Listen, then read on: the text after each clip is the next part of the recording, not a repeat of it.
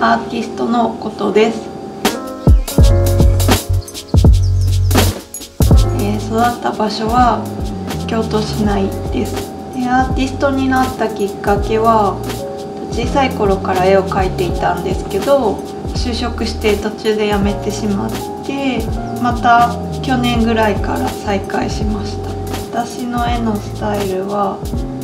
えー温故知新なんですけど古いものから結構インスピレーションを受けて絵を描いています。なんか作品の中にはなんか昔のアーティストさんの作品を紛れ込ませたりして描いてるものもあったりします夏でめちゃくちゃ暑いと思うのでなんかこの空間でゆっくり休んで楽しんでいただいたらいいのかなって思います。